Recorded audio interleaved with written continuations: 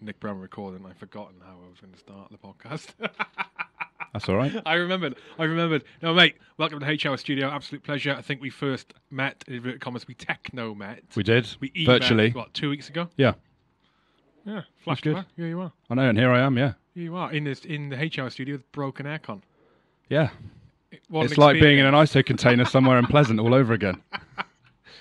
So. In fact, the last time I was in one of these, I think, doing this, was Telic Four on a, in a BFBS booth at Shaibah Log Base, reading out messages home or something similar. Oh god. Yeah. But that was depressing.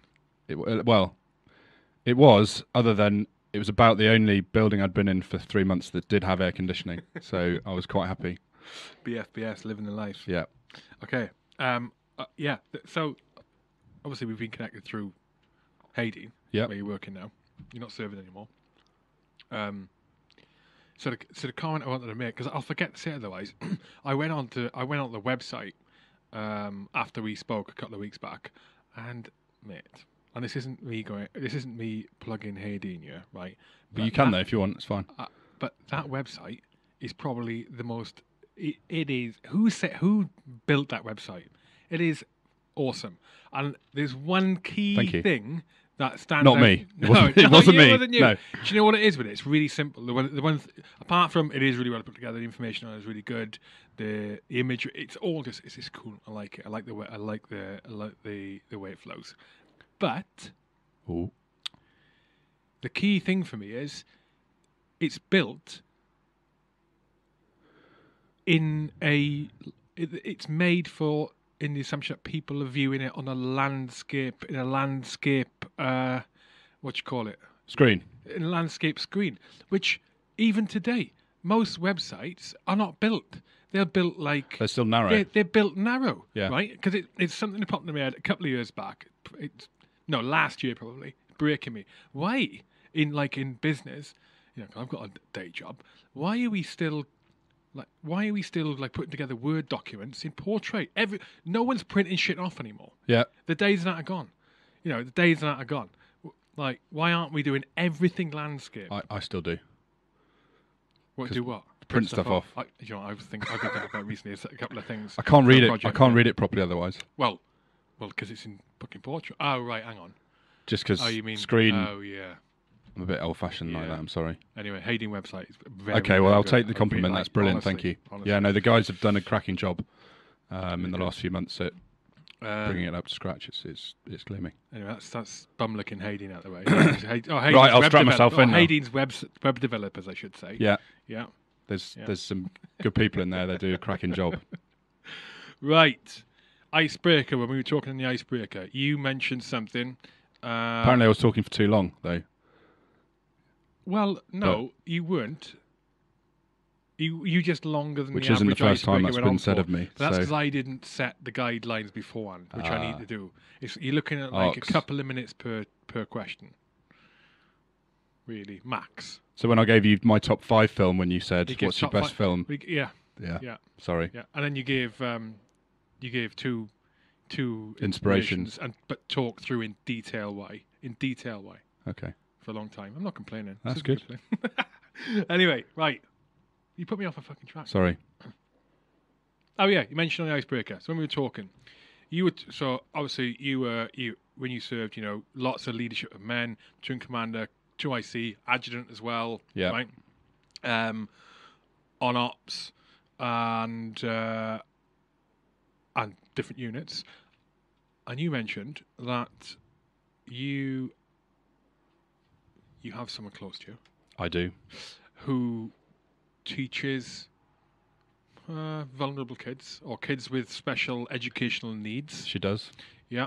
And that in listening to her experience and understand how she does things and just, uh, yeah, all, and learn about all of that, you see similarities in in the way sh- you have in like in way a military leader has to try and draw out the best from their soldiers the Yeah. challenges there you see similarities in, in the challenges that she has with the kids with special educational needs.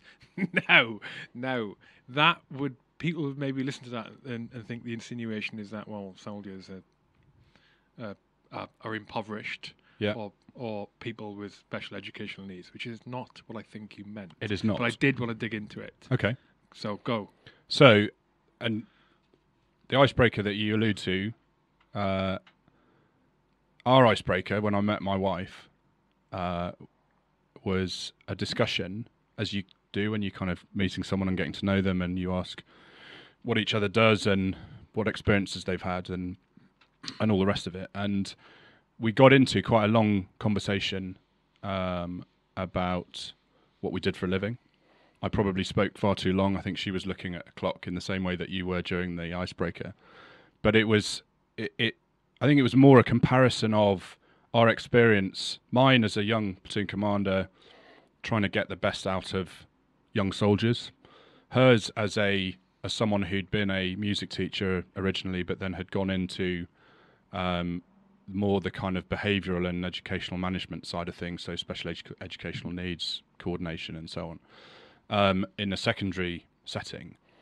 And there were some correlations in relation to the experiences that those young people had all had, whether it be socioeconomic or or depravity or you know just just the upbringing that they'd had that meant that some of our and that's not to say that all the children that she dealt dealt with or, or taught had had those experiences and had come from those backgrounds because they hadn't. In the same way that by no means all of my soldiers had had those experiences or come from back, that background because they hadn't either. But as we all know i think you end up spending whatever the and i'm going to make up the statistics now because most good statistics are made up on the spot 80% of your time dealing with 20% of the people and I think we both had a, a similar experience in that respect.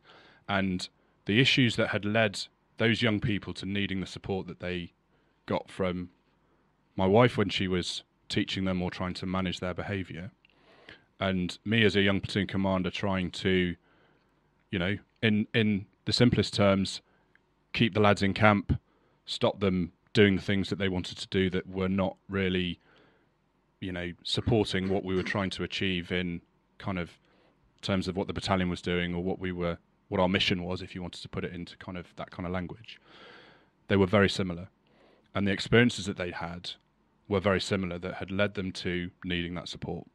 And so that for us that that icebreaker over you know some drinks in london somewhere it obviously you know however many years 20 years later um, we made a connection over that and you know, and that's why I, I admire her so much in relation to how she has, you know, how she's managed her her children and got some of those outcomes out of them through understanding those experiences and what they've been through, which is the same as you know we, we would have heard writ large, know your men or women, but you know your soldiers, and if you know your soldiers, then you are then in a better position to get the most out of them, both for them individually or for them as part of the team. Um, and it's that deep understanding of those in that situation that are, you know, kind of subordinate to you, if you want to put it in that language. But it's applicable, I think, in any team. If you understand where people have come from and what makes them tick, you've got a much better chance of getting the most out of them, developing them as they need to be developed or ought to be developed, and also then having good outcomes in terms of what you have been asked to do as a, as a team. How do you how do you how do you gain that understanding in your men? Spend time with them. I think for me, you know, you can read, you can read about as much as you can read about when they're, you know, someone's P file, you know, where they've come from, where they live, what they, what school they went to, where the, what were their influences in, and certainly, you know, I joined a single battalion county regiment, so, you know, and then commanded a company in in the Royal Welsh, where, and you probably recognise this, most of the lads were known by their last two because I had eight Williamses in the company. Now they weren't all related, quite clearly, but quite a lot of them were, and in B Company One Cheshire that I joined as a platoon commander, um, we had primarily, and it was just how it worked out, I think. But we had lots of brothers and cousins. Um, the battalion had fathers and sons. I mean, as it happened, the CO and the two IC were brothers-in-law. So it was classic kind of. Oh my God. It was classic single battalion county regiment stuff. And all our lads were from, I think they were mostly from kind of Runcorn and Warrington. C Company were all Birkenheaders. And so you could uh, you could learn a lot about someone else by spending time with their mates. Because they all talk to each other, they all spend every weekend back home with each other. And so you get and I think the best time for that, sorry, is out on exercise or on ops or whatever it is where you are with them and almost, you know, isolated from other things. And you understand, you see them individually and collectively, and you can start to work out how people tick and what approaches you need to take to get the best out of them. You know, some respond well to straight lines, binary, left and right of arc, move now, and others need to be kind of maneuvered in a different way to either develop them to their best ability or to deliver the outcome for for the team as necessary. But I don't think you can do that without understanding who they are and, and what's in their character.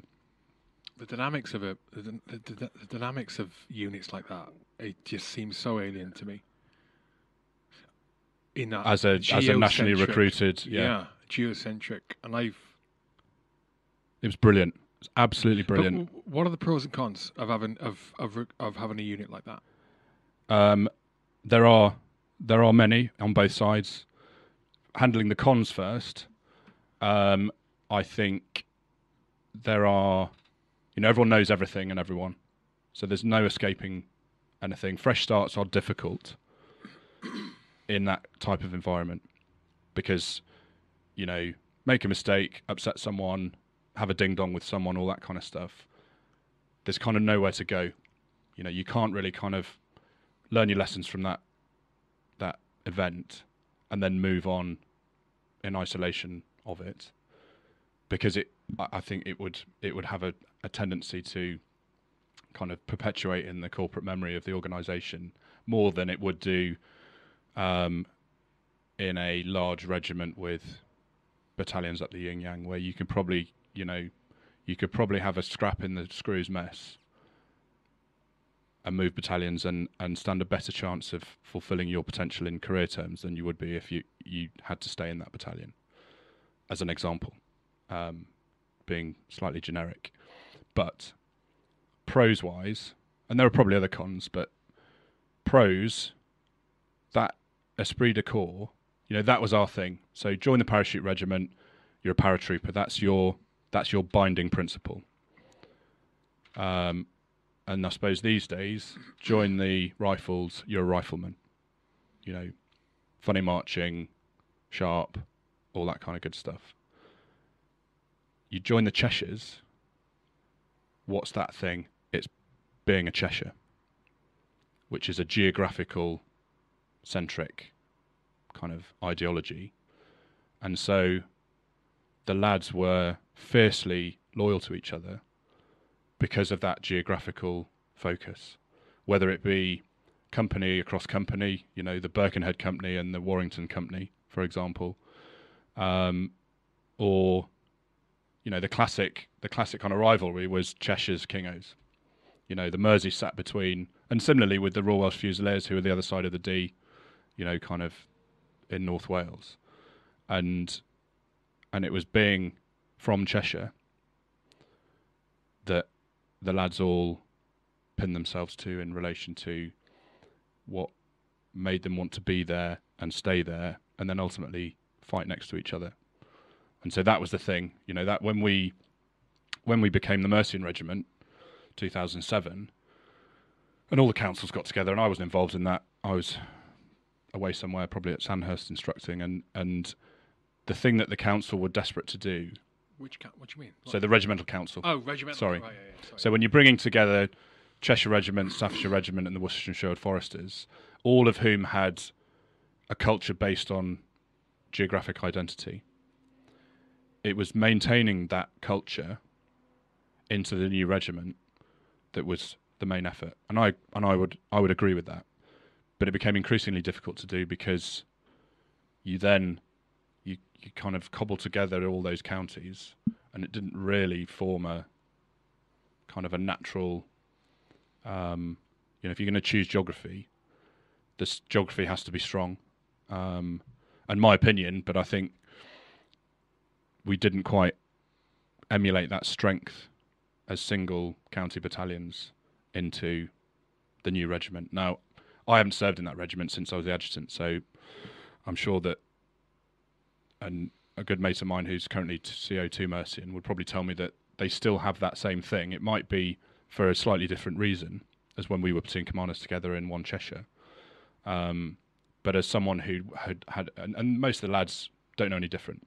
You know, there's probably the CO and the QM that have that have worn a different cap badge these days in, in our terms. So whether they were Cheshires or Woofers or Staffords or what have you. Um, but so the lads all just know being Mercian, and so their thing is being a Mercian soldier. Um, whereas for me, it was I joined the Cheshires because I wanted to be a Cheshire, and having been at university up in the northwest, that resonated to me, and then it didn't take me long to identify with that battalion quite fiercely, probably through through loyalty with the lads, because they already had it just by default, and it was quite infectious. Um, and I think it stood us in good stead when we went on operations. How do you cultivate an environment like that, uh, which is a uh, which is um, one of you, I think you said there that fierce. What's the word? Loyalty, loyalty, brotherhood, sisterhood, esprit de corps, esprit de corps. How do you how do you cultivate something like that in the civilian world? Um, or is it not possible? Uh, I think it's possible because it's it, it's all it's human beings. You know, you probably get the same at a rugby club or similar, um, where you, I mean, it, trust and and a, and common common per, shared purpose. I think are the things that start to bring those things together, and that's sports a little bit different though. I meant business. So sports, I understand. Yeah, yeah, I understand. But pr- in in principle, though, it's the same, though, isn't it? If you if you're playing a rugby match, you need to trust the guys left and right of you, and your common purpose is winning the match and performing well. If you are in business of whatever kind, and or you might it might be not for profit, or it might be seeking to make bagloads of profit, but ultimately you need to have a shared common purpose within a kind of value structure, and trust in each other. And then I think you're all pointing in the same direction. Um, and you'll be you'll be successful. And you'll breed that that loyalty that is also necessary, I think, to to bring everyone through. People work at different you know, move at different speeds. But you get through as a team collectively. So I think you, you, you're right there are there, there, there's probably the physical element of sports, particularly rugby, the military. You know, there are it's a more visceral kind of experience. But the principle of trusting the people around you and understanding the direction of travel, I think, still applies across into business and other areas of life probably even more challenging now with the dis- with the with how much more physically disconnected people are. Yeah. With you know, uh, what's the word? What's the word? Remote. remote yeah, working, yeah, definitely. And I, and I, and you've probably identified yourself from having done virtual podcasts to sitting in your delightful chalet, delivering it face to face. You know, I think that kind of that human human interaction and all of the all the kind of non-verbal cues and signals that we naturally kind of give off enable those those things to be cultivated more quickly such that you can then start to kind of move something forward positively yeah have you pulled anything from your military career into the civilian world since you've left? Probably everything. I mean, it's kind of. Um, my colleagues are probably quite bored of it by now, but What does do- that tell you? well, exactly, yeah. um, probably because I answer my questions too long or too slowly. but no, I think um, I think language is the is the differentiator. You know, military language is quite specific. It's it's it is a it is a vernacular that you are taught. You have to use because it ensures common understanding, and then you become kind of slightly obsessed by it and follow it to the letter, whether it's mission language, you know, good old kind of JSP 101 staff writing or whatever it is. But you become reliant upon it because you know it's a framework that you can follow, and frameworks are f- easier to follow than making it up each time you do something. And you know that everyone's going to understand what it is that you're trying to say. Um, that language might be different across a different company in business terms, but it's still there's still elements of common language, and it might be different across departments. So, for example, our engineering team and our product team have a deep language that they speak to each other because it's about code and it's about coding languages and how they deliver the product that they need to deliver or develop. I have no clue how any of that works or what it all means. But then I don't need to. I just need to understand the benefits of what they're trying to build for the end user, which in our case are, you know, soldiers, sailors, airmen, and women. Um, so that's fine. But they still have a framework with which they kind of communicate whatever it is they need to do. What I find is that when I'm trying to analyze a problem, develop a solution, and then communicate it to other people, I'm still going back to either my old TAMS or the Staff Officer's Handbook to provide the framework for what it is that I need to do, how to develop those courses of action, and how to then communicate the right one, having analysed it, assessed it, and scored it potentially, even if you're just doing that subconsciously, but you're still basically doing an estimate.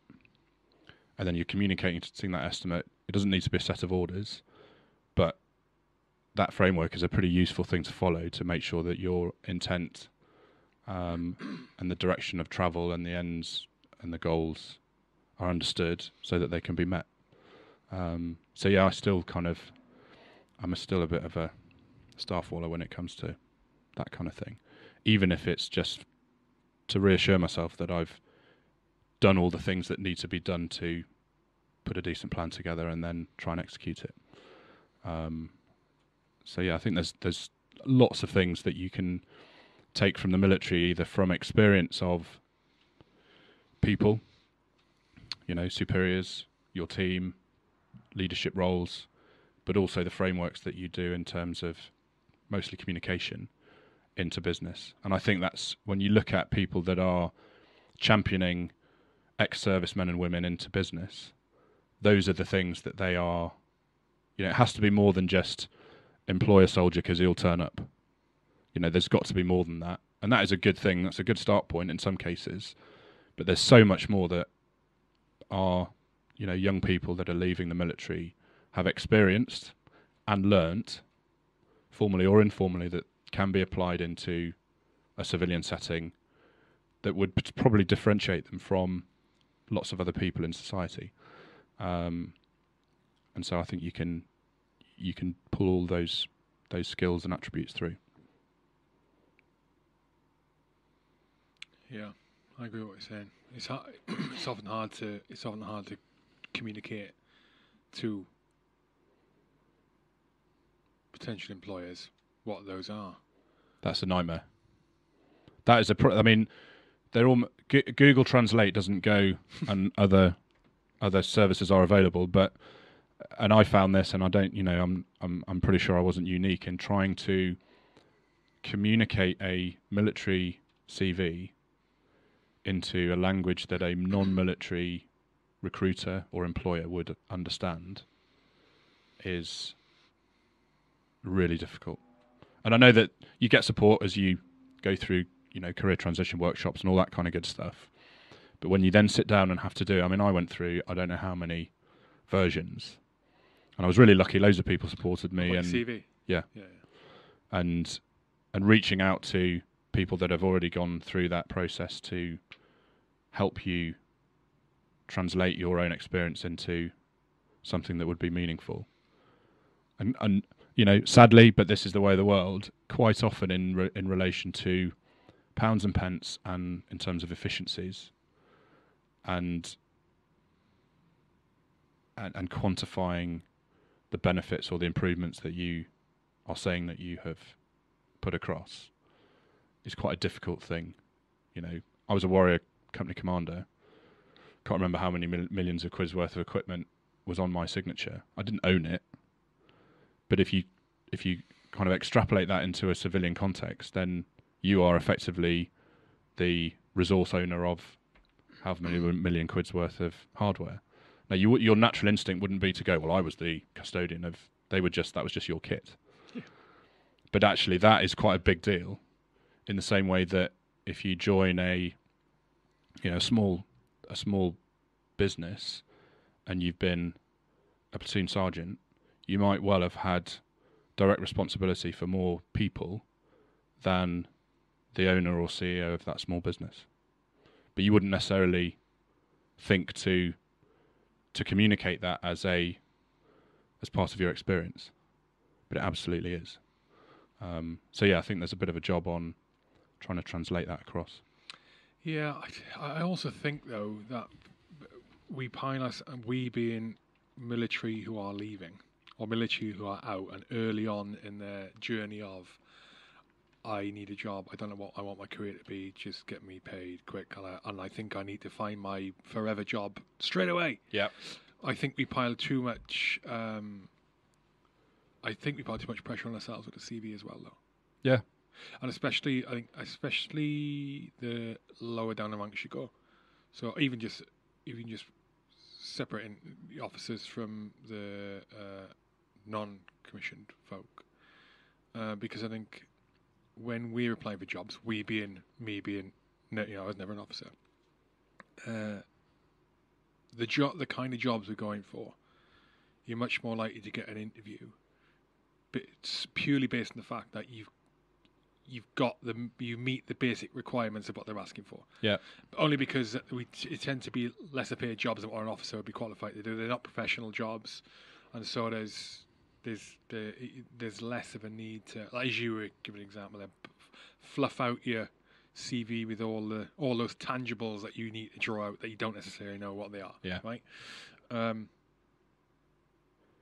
And I think Uh, that, and I think there's a, it goes back to a previous question about, I think it was the one about um, people I don't like or don't. Or Oh, the don't get on with. icebreaker. Yeah, I think you have to be genuine in, in a CV, and having read, having read lots of, lots of ex-servicemen's CVs, you can you can smell it a mile off. Particularly, and I know that the person reading your CV isn't al- always going to be someone who knows the intricacies of military rank structures or responsibilities or experience, but still, you know, the adage for a reason exists that you you shouldn't put something on paper that you wouldn't be able to defend in interview, and and when that piece of paper or not paper because it's on print because people shouldn't be printing on on a screen because we shouldn't be printing stuff off anymore but that's the that's the gateway between an application and an interview. And so it has to feel genuine but it has to meet the requirement um, but once you get to the interview i'm not looking at the cv anymore i might make some notes because it it's a start point for discussion or questioning but it's the person that you're speaking to, the way they carry themselves and the way they present themselves and the way they, you know, depending on what you're looking for. If you're looking for someone to do a role that is quite individual and has a specific skill set and doesn't necessarily need to be part of a kind of a team structure or anything where there's a collective purpose, then you're looking for someone who can do the job and is probably quite happy just to kind of do it on their own. But in most cases, certainly in my experience, you're looking for someone who yeah, okay, so they need to meet a minimum or a basic requirement, but more importantly, you're looking for someone that is a good bloke or lady um, who is willing to learn, willing to put the hours in and, and commit and have you know put the effort, necessary effort in, but probably most importantly is willing to um, be part of the team, support the team, be supported by other people, and again, going back to your previous question, attributes that you are hoping you see in your military teams, because again, it's just about people working together or operating together, whichever context you want to put them in. But it's still just a human endeavour, um, and so you would probably be looking for similar attributes across across both spheres, if you like. Mm. Yeah, you're right. That that the, yeah, the CV and that, that gateway from the application to the, the interview, and the aim really wants to be not I need I want to secure a job. It really should just be I need to get my foot in the door in the interview. I think for ex-military, because because when in my experience anyway, the, the, the where I made a difference in my job prospects was when I actually got to sit in front of someone, because I knew that I was confident, appeared confident, appeared enthusiastic. Yeah. I knew that. I, to your point, I hadn't bullshitted in my CV. Yeah. Um. Uh. And and I knew by that point as well because I've been out a few years when I actually had to start doing interviews. Was that compared to my civilian counterparts who were going for the job, I probably appeared more confident and enthusiastic than they did, just by just through background, without with, with effortless, without you know effortless. It's because of who we are, Yeah. what we've experienced, and most people don't recognise that. I don't Mm. think they just don't recognise it. And uh, and I went into some, in, uh, went in, I say some. I only ever had two, and the two interviews I went into, I was woefully inexperienced for them. One of them I didn't have the qualifications, uh, as in I had none of the qualifications. I was below them all. It was health and safety manager role. Yeah. A, a senior health and safety manager role. And the only thing that got me through was confidence and enthusiasm. And the only thing that got me the interview, interestingly enough, was because I had there was military experience on my on my CV, Yeah. and they just thought this guy's interesting. Let's get him in, and then and then nailed it. Yeah. nailed it. So Maybe the other message is be interesting as well. I wouldn't go that far. I wouldn't go that far. You never know who you're going to get. Yeah, yeah, but I mean, back to the CV. Sorry, I'm just conscious people listen to this. Everyone's always applying for jobs, right? It's always a fucking nightmare. One of the key things I learned about the CV is we pile we pile pressure on ourselves, right? Thinking, oh my god, it needs to be perfect. I got to get it perfect. It has to be right. Got to get it perfect. Worrying about before you send it out. You spend hours on it, hours and hours Mm. on it, right? You could get it as perfect as you want right now. In two weeks' time, or even a week's time, you're going to look back at it and go, "Oh, no, I need to change that. Oh yeah, I need to change that." And that's just it's the way a it is. constantly evolving Yeah, beast. It is. So, does it look good to me now? Is it accurate? Do I think I've pulled out everything I can? No. Yes. Send it. Yeah. And then just you're gonna it's gonna change every week. I need to change it and Yeah. do it again. Don't overpress yourself with it. Anyway, got for the right tangent there. That's a good one. Um, it is tough. It is so tough. It's also a challenge, though. I think it's also a challenge, you know, with, with military going into the civilian world. The, the other challenge is balancing it with, well, actually, we don't think we're not always the best things since sliced bread. That's the other thing, you know. Within in But that's healthy. I think that's healthy. Yeah, yeah, yeah, yeah. Within humility every now and again, and that's something I think that you can, you know, we talk a lot about all the all the, um, all the great skills and powers and experience that military people have. And again, I'm being slightly generalistic here, but I've met a few people that would probably benefit from getting a bit of humility down their grid every now and again. And I think we all know who we're talking about. But you get that by challenging yourselves and putting yourself in a an alien environment with all the right approaches and attitudes, you're going to succeed. But I think you know, everyone there's lots of kind of scare yourself once a day type philosophies, and I'm not sure I'd go that far. But every now and again, I think it's healthy. It keeps you on your toes. I know of a person Yeah. who um, was had not long got out of the military, and this person, I said, I'm trying to avoid the gender. It was a bloke, and obviously a fucking bloke. He uh, he applied for, for for multiple jobs, multiple companies. anyway, one in particular, for some reason, stuck in his mind who just wasn't responding. So he made however many job applications, and, and this one, for, for some reason, wasn't responding. Uh, uh, no, sorry, mo- you know, most don't respond, but for some reason, this one annoyed him, but this one not responding. Yeah. Right? Uh, didn't respond two or three times to his applications for different jobs.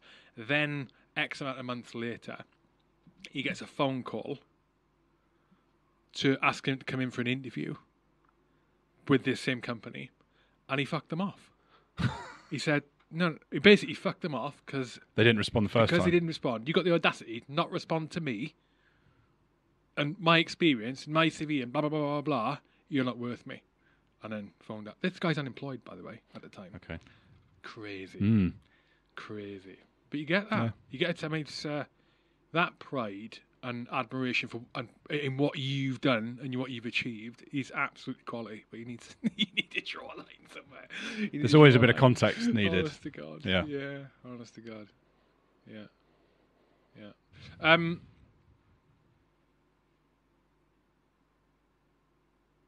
Did you? Were you happy when you left? Yes. Uh, which reassured me because if I hadn't been, then I probably shouldn't have left or been leaving. Um, it it felt like the right thing to do, and I think that is the for me that was the acid test.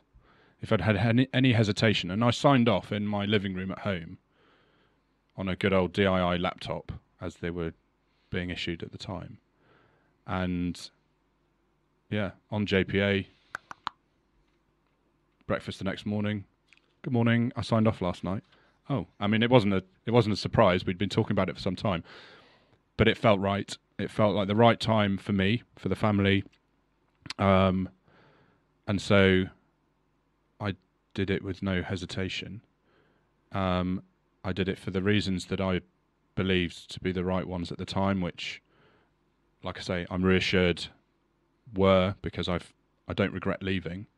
I didn't leave because I hated the army or the people or what it stood for, or anything like that. It was just, you know, I loved the army. I loved doing what I did, and the people I did it with.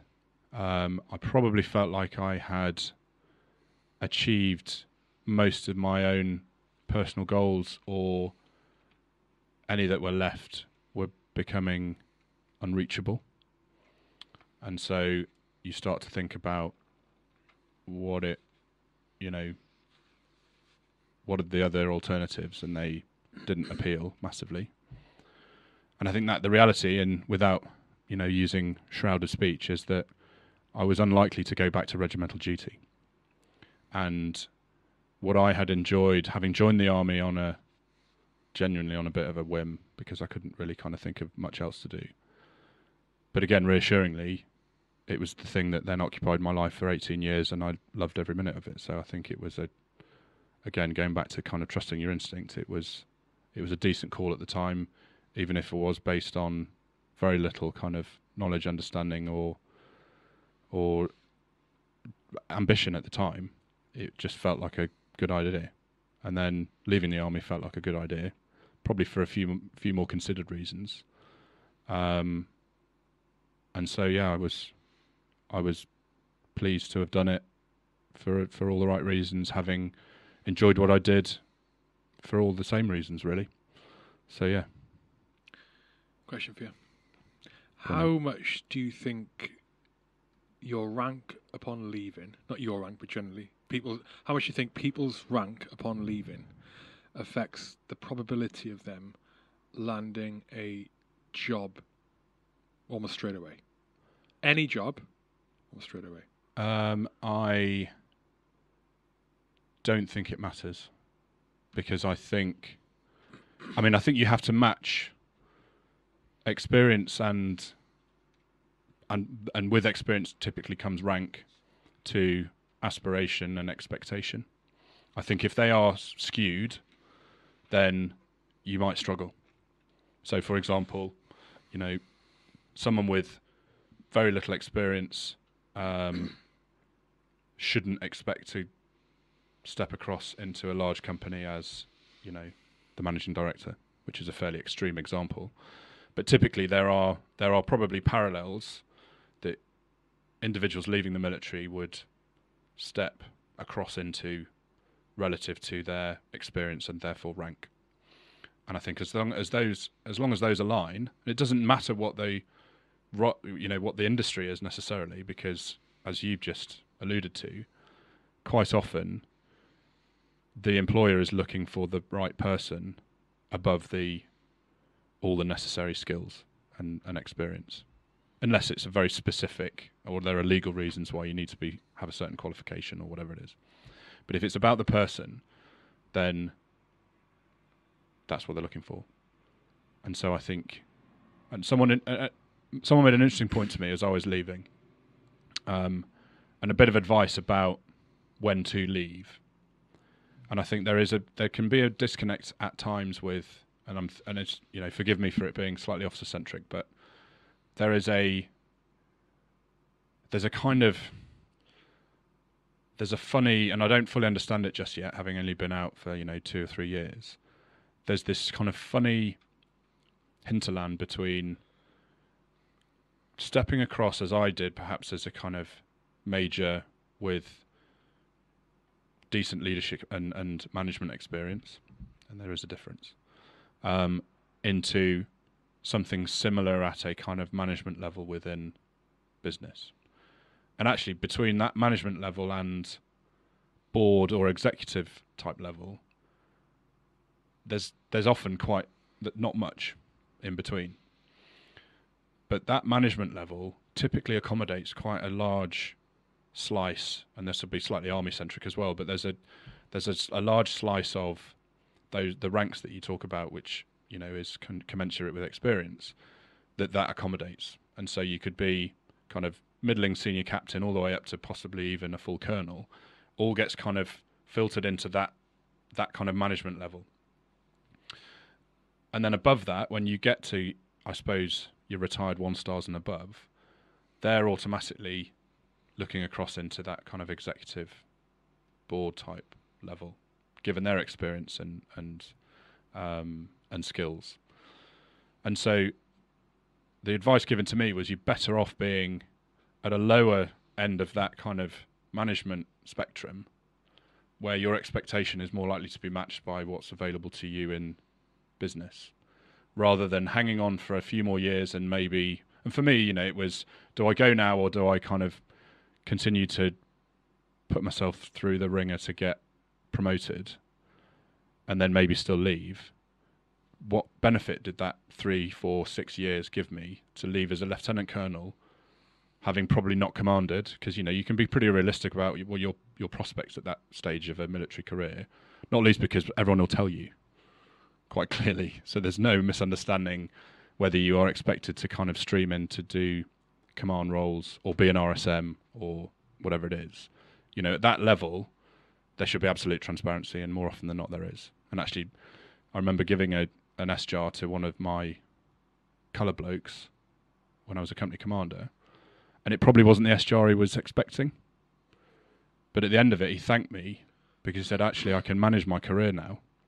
Because everyone until now has said you're going to be the next big thing, and he was a good bloke, and he was a brilliant operator, but I had there were better guys around him. He would just happen to be, you know, stuck amongst a really rich mm. seam of of senior NCOs, and so he would probably have missed out on opportunity gunning for all the best jobs against in that competition, and then having to take whatever else was available potentially, depending on boards and all the rest of it, rather than accepting that some of those heights were unattainable, unattainable rather, and therefore I can manage my career and my family in a slightly different way by following a slightly different path. And similarly for me, you know, so you had Swanee on not long ago, good mate of mine. We were at Sandhurst together at PCD and Staff College, and you know he would have had a very different career, formal career review than I did. And then you interviewed him as CO3 para, gleaming, and absolutely where he should be. Now, I'd always aspired to do that. And then, you know, a couple of jobs here and, and suddenly your profile doesn't necessarily match up. But the longer you wait for someone to tell you that that's the reality, the more opportunities you miss. And so I was grateful to an extent that I either made my own mind up or was kind of veered in the right direction by people that I worked for that flogging myself to be a CO was probably not the best thing to try and do. And at the time I punched out, I looked around me at the COs that I could see, and frankly, they were either pretty unpleasant or pretty miserable. And I didn't want to be either of those people.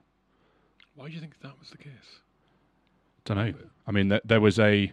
I mean, you're in danger of cracking open a kind of a, what what a year are we talking? Uh, so it would have probably been. Well, when did I leave? 19. So between anywhere between kind of 17 and Oh, mate. 19. The answer's obvious to that one. Come on. The answer's obvious to whether you're miserable or bastards. go on then. They missed the boat. In their heads, they've missed the boat. Oh, I All see. All their Okay. predecessors have had the tail end of Northern Herricks. Ireland. Yeah, Herricks and the Telics. The tail end of Northern Ireland, um, which I was going to say bullshit there. It was. The tail end of Ireland was fucking bullshit. Apart from some summer pieces. like I know, 'cause Yeah, yeah. I know you had a hairy time out there in 2005. The year before, Three Paris, uh, one of the companies in Three Para, a bit of a hairy time out there during Yeah, the yeah. marching season. But yeah, they all the those CEOs predecessors in 2017, 2018, 2019. That is pre like pitting. Yeah. For example, I'm thinking Power Edge now. But before that, it was all Telics and Herricks, and they've missed the fucking boat. And I and, and it's that is a nightmare place to be because I remember, I remember before. I think that accounts for the miserable ones. Uh, and I'm Oh. not sure it accounts for the other ones I think it does. because you're talking about nature and character now, and that those those individuals. Yeah, but they're they're your nature, your character's informed by how you perceive the world and um, and how it is around you. And imagine you spent because to get to that, to get to that position, they had to have been in what twenty years to get to colonel. Just about, yeah. So they've seen it all, done it all. They're watching COs, command battalions, command units in those situations, and by the time they get there, it's all finished. And they've got to try and make their name and make and in their head make their name for themselves in some other way.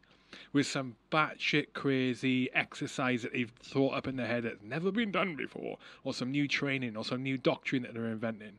Do something different. That's where you get the bastards. They're trying to make a name. I remember it pre. I remember it pre Telic One.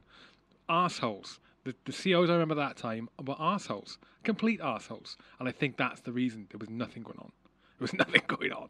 Maybe, I think that's the case. maybe. Yeah, You're not looking like you agree with me. I don't know. I mean, I just think, I think you're right. There is something in that, and there's definitely a, it's, there's always a hangover after campaigns and or conflicts, and you know, I'm sure your regiment would recognise that in the early 1980s, um, and I think something similar occurred after Herrick closed down, and that I think you're probably right is is part of it. I mean, and we were lucky to get pitting. Like the, having that is Yeah. sort of it keeps us.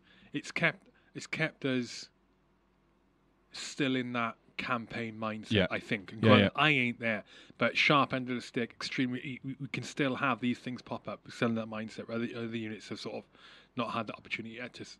and- Well, no, not had the opportunity to stay at that level of that mindset. yeah, Because like you said, it will dip. It'll dip. and I think we um, we probably lived through an age that um, was kind of hitherto uncharted in relation to multiple operations. You know, within within. So my gen, you know, I I commissioned in 02, December 02, and I remember watching the lads, the Black Watch and the Fusiliers on PCD in January, February 03. Sat in the Warminster TV room watching it, and then they were going, Right, get me off this course back to the battalion. And a good mate of mine, who's now CO of one of the Cav regiments, managed to blag his way off troop leaders and commanded a, an ambulance on Telic 1. So he did pretty well um, as a kind of Buckshee second lieutenant. Um, and then it just, but it just rolled. And and and in the end, it was almost it was kind of that was a feast, and now I suppose, or the period afterwards was a famine, and and you'd notice it when you get the lads on parade, um, and you see soldiers and officers of a certain age and generation looking like kind of Kenny Everett with his massive shoulders and enormous rack of medals next to the young lads that through no fault of their own other than time and and consequence haven't had that same opportunity um, and that's that hangover I was in Colchester, just off, just slightly, but on topic, but off topic. I was in Colchester not long ago for someone's leaving do. Uh, I say leaving do. It's uh, a, a mate who used to be a, a, pilot, and he's he's leaving Colchester to go elsewhere. Yeah. But I bumped into a lad in in the in the Fox and Fiddler and Collie, who was he got in like six years after me. He was a Tom when I knew him, a private when I knew him, and I didn't realise right, but he joined he came to Three Para like a month after we got back off the, the Herrick 4 2006. And uh, when he was describing it, he, he basically said it's the worst, like the worst time of his life. Yeah, I can imagine. And when he told me that he went to, a, when he told me which platoon he went to within Three Para, I was like, oh my god, because he had the renegades and the and the, the personalities for all of the wrong reasons Yeah. in that platoon. You know, you always get it with any unit, don't you? There's just one part of the unit where you go, fucking hell. you know, we talked about cultures earlier. And Yeah. You go, fucking hell, man. Like, they're great when they're on ops. Yeah Not break break glass in event of war A, a commander's nightmare. yeah Yeah, and and he went to them, and it was just he literally. I mean, he, he it's one of the reasons he left. I think he did. He did. He did a tour, but then he left because that the, the first six months of him being in, he'd come to a unit, which is just, you know, what what a lot of the units came to be is super experienced. But at that time, it was only three Para, far and above what anyone else had ever done at that point. Yeah. Um, n- not counting some of the units that did some of the heavier shit in Iraq at the time and uh, he came to that as a new Tom. Pro- possibly without wings, because we were getting guys because it was a short of shortage of Oh, uh, man, that shortage poor- of poor staff bloke. in- Possibly, I can't remember if it was without wings, but we were getting guys coming to come at three Para, and he had no wings because there was no airframes. We had guys Yeah, come 'cause to all the Strat AT was with no- away They were qualified to jump, and they deployed on the next tour. And they went out and they had a Herrick medal in their chest. They'd done a Herrick tour and then come back and have to go back to Brize Norton and- do the jump Do jumps. course with Joe's. With Oh. like recruit, you're crazy. It was mental. It's but crazy. you, but you get that even, and it goes back to and your question about the kind of pros and cons of of that kind of small unit, um, that small unit environment. Mm. It's the same on an exercise. You know, it only has to be the last big thing to you know. Memories, Yeah, memories yeah, a true, short yeah. thing, and so, you know, we took we- true, my company did back to back BATUSes with the KRH battle group. No, we did one with the Royal Welsh battle group and then one with the KRH battle group straight afterwards or something like that. And and even the lads that joined the company after we got back from Ba- I mean it was BATUS, it was an exercise. I mean it was a gleaming exercise, but it was an exercise nonetheless. And you could still see the lads going, "Yeah, well, you weren't in Canada." Yeah, that's right. yeah, and that's a good but that's point. just and that's that kind of herd mentality and it's and and as much as that is also that's something that you're hoping for because the lads have obviously gelled around the experience of being on that exercise but it then can kind of counteracts itself in as much as it then becomes something you've got to break down to enable others to It's a very good integrate. Point, yeah. It only has to be the last big thing. Yeah. Yeah, it's a good point. Never thought of it like that. because it doesn't have to be Yeah. you know the beach landings it just has to be the last thing that the lads are all talking about Yeah, and that happened to me when I joined. They were referencing. I was just recalling. And you saying when I joined, they were referencing. It, they were referencing two things when I joined. That I thought, oh god, I'm not. And one was an island tour in '99 because I joined Yeah. in 2000. Uh, uh, 99, and the other one was a big airborne exercise. Yeah. and they haven't been. And uh, the airborne exercise haven't been one for a couple of years. Yeah, that's a good point. Well, that's just, I mean that's just human nature. When I joined the Cheshires, it was um, they'd just done a Dungannon. So the two things that had happened was Dungannon and um, and they'd been in residential in, in Cyprus. So the Cyprus thing was Cyprus was mega, life was great, and you didn't you weren't part of it. and then it was what we did in South Armagh. Um, That's where FOMO comes from. That's well, it is, but it, from. but it also moves on so quickly because then the, the but we then did like three Salisbury Plain exercises. So twelve months later, everyone's like, "Yeah, well, you weren't on the Salisbury Plain exercise." It's like, oh, okay, well, that's it's obviously not that big a deal if we're going to kind of move on that quickly. Um, but that I think that's again, that's just human nature a little bit. Yeah. Interesting. Right. Moving on. Moving on from all of that. Yeah. We are in an age where This is starting to sound a bit more serious now. Yeah, tech now, mate. That's stuff you don't know about. Hang on a minute. now, do you know what? Someone, someone, uh, someone explains to me, uh, um, said something to me a month ago. I read it or I heard it somewhere, and they're saying we like Was it on our amazing website? It was not. it was not. Um, and it was. They were. It was how, how and why they think there's so much. Like the the face of the planet is going to change within the next maybe ten years. Like maybe a little bit longer. Mental. And, and they were they were alluding to. Uh, they were alluding to like this is basically the conversion of. We've got the convergence and maturing of four different technologies coming about. Uh, one, blockchain technology.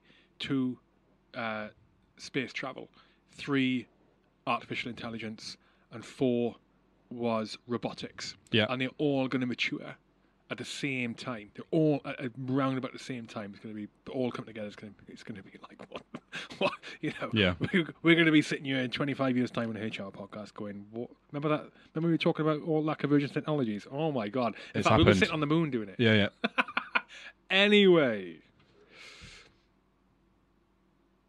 digital transformation. Yeah. Uh, there's two questions I got for you, and Go you then. can either answer them directly, or you can, you can just we can go around the subject if you want. One is, uh, how do you think that's going to impact the armies of the future, or we can even just be specific about the British Army or British forces, right?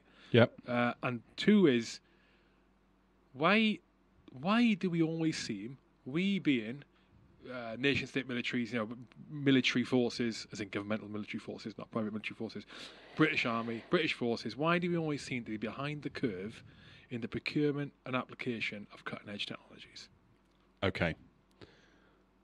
So, the first question about you know digital transformation is, as far as I'm concerned, it's I suppose it's a it's a stepping stone in that that journey, if you like, towards that convergence of technologies. So it's an enabling function of of that type of development. Because if you don't have the structure in place, the infrastructure and the processes, the hardware, the software, and everything that supports it, then enabling those technologies, those novel next generation technologies to bring about the benefits that they can to the human user, which lest we forget is at the end of this this chain, um, then you can't exploit it. And the benefits that exist now or will exist in the future become either singularly unattainable or you are unable to integrate them into other systems that you want to take benefits out of or existing systems that can be enhanced by novel technology. And so I think and and there's a parallel across into um, into training systems for for the military, um, and I think I mean digital transformation is can be this this narrow or this wide depending on what you're looking at because it is just an enormous an enormous network. But I think if certainly what what I'm trying to do, you know, with what I'm doing work wise, and it chimes to the discussion we had about when I left and why I left, is that though that digital transformation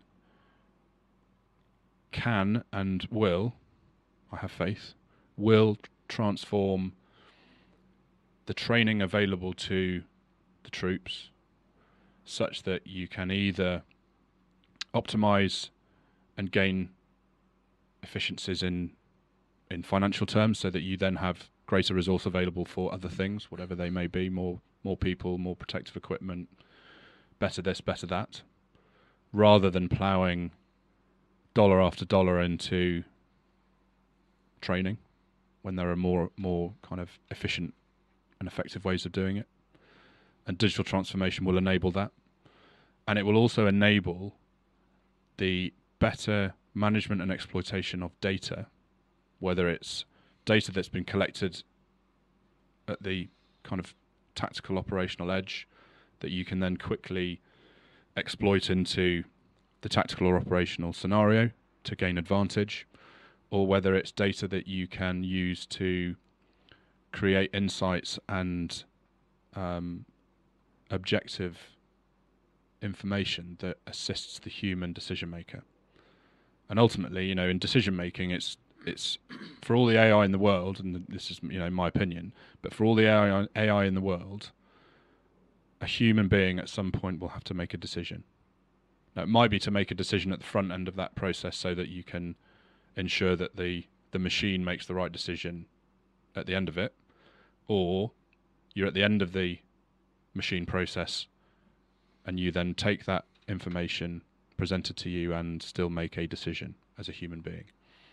And so I think if you can, if digital transformation gives us those two things, then it will give benefit back to the troops. And I've mentioned earlier, the Americans are quite good at in in industry at focusing in on benefits to the warfighter, and um, and I think that's something that we can we can try and emulate, probably in a slightly more British way, but you know, focusing in on what benefits can be achieved, so that you know ultimately the the troops when they find themselves in in a situation where this type of thing has supported them, then they've been supported appropriately.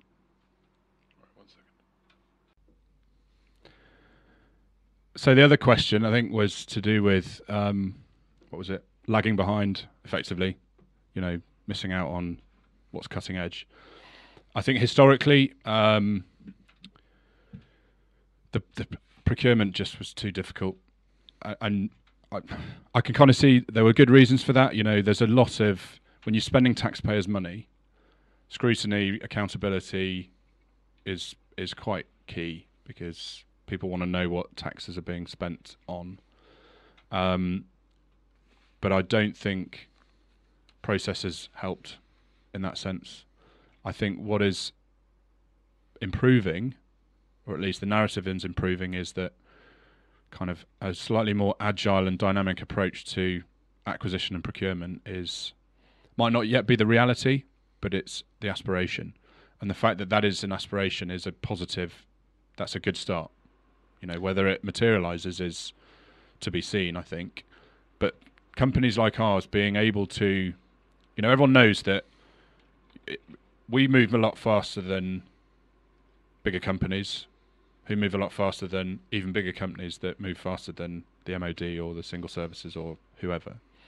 And you know, the, some of the large prime kind of big name companies would probably by their own admission acknowledge that they they struggle to move as quickly as they ought to to to best support the military customer, if you like. But small and medium enterprise businesses are being embraced a little bit more, should I say, by government and principally the MOD, such that we can turn around very quickly small scale demonstrators all the way up to major contracts within certain, you know, I'll get slightly boring now, but within certain kind of treasury thresholds and all the rest of it and competition guidelines and blah. But there is a willingness to see what is out there. And it goes back to your point about, you know, fear of missing out. Because companies that have that expertise in developing next generation technology will quite quickly move from industry to industry if they don't see development in that market for their products or services. Because why would they hang around? They can't. They would go out of business. So if you, you know, if you're a, if you are, you know, the Ministry of Defence, shall we say, you need to have a system agile enough to keep those tech companies interested in selling to defense customers because otherwise they'll just repurpose themselves and go and sell to someone else. And you've missed out on technology that then if we go back to all the, my first part one of the answer which is benefits of the troops on the ground you've missed your chance. And you potentially end up having to spend more money on a less well optimized solution that is and I think what you're alluding to is the fact that typically something is obsolete by the time it comes into service. And there's already something better available off the shelf and how do we overcome that when we're spending treasury cash I can't answer that question for you under the air conditioning conditions that I'm in now but you know It's I know it's back on. That's good. but you get my point. So I think you know it, it's it would be acknowledged that it's difficult to to truly keep up with. And there are some. I mean, again, making up a statistic, but there was I read something along the lines of a you know a, a global applications based provider that will remain nameless can develop an idea into an application in 48 hours and have it on the app store or the you know amazon apps or whatever that quickly. You know any government department would struggle to keep a pace with that with their own internal in fact most most other organizations would but that is how quickly things can change and if you also think about if you take that all the way from this back end idea procurement and acquisition all the way to the sharp end of what we've kind of been talking about from our own operational experience and you look at particularly Syria was a really good example of where people were were innovating with technology so quickly that your countermeasures you were you were constantly chasing your tail. So you know, a good example of which was buying off the shelf drones and then crudely arming them to the point at which and there was mass proliferation because you're spending 20 bucks on a thing that you could effectively chuck in the air and not care whether it comes back. And suddenly you're, the TTPs at the other end of this were having to change on an almost daily basis to deal with that that speed with which technology was developing how business at that end was being was being done. Um, you know, it doesn't change the kind of that the nature of fighting another human being when you get down into the guts of it, but it changes the the means by which you choose to go about it, and that survivability conundrum. Um, On the on the procurement issue, going back to the military, on the on the procurement issue, is that so within the British military? Is that a is that an issue of bureaucracy, or is it an issue of that we're applying the processes in a way that is outdated? So I mean, just in my just in my like listening to you, you're talking right now, thinking out loud, part of the brain. Yep. What about if, um, again, focus on the procurement process as an example. I imagine there's a procurement process as a blanket across the board, where there's, there's very few instances where it can be there's there's alternative methods for procurement that will be approved. For example, I can't imagine that SF follow the same procurement I thought you were gonna as go down the there. military. Yeah. But what about what about in times where you can afford to have a little bit more risk, as in times where the tempo of operations is a little bit less, decentralizing the process, for Yeah, yeah. example, and allowing units, uh, I would say big units, division level, maybe even br- a brigade level, to form their own. Again, just focus on procurement as an example. Their own procurement process that aligns to certain guidelines set up on high, but allows a lot of leniency for how and why they do things and buy things.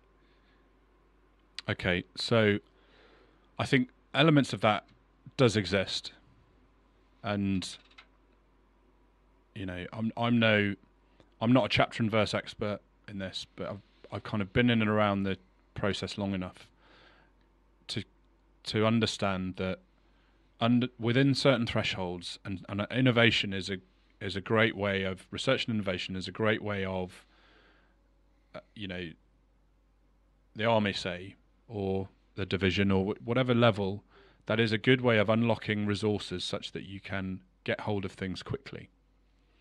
Um, but of course, typically the thresholds in monetary terms, are fairly low because they want the risk to be low. Because ultimately, when you are researching or innovating, there is a likelihood, or in some cases, even a desire that it might fail.